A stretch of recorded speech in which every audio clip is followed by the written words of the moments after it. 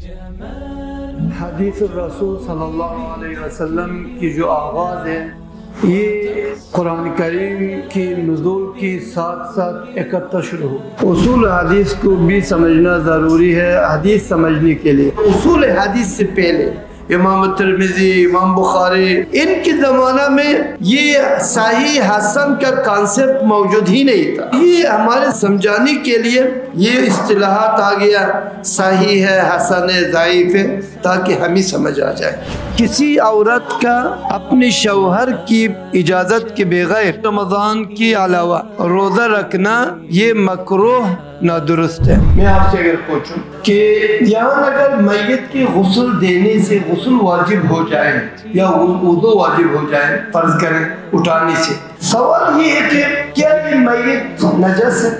حدیث میں نبی صلی اللہ علیہ وسلم نے فرمایا، مومن پاک ہی ہوتا ہے، چاہے وہ زندہ ہو، چاہے وہ مردہ۔ امام شافی کی دو پہلو، ایک پہلو اس کی فقی ہونا، دوسرے پہلو اس کی محدث ہونا۔ اس کی فقی ہونا، اس کی محدث ہونے پر غالب۔ تھا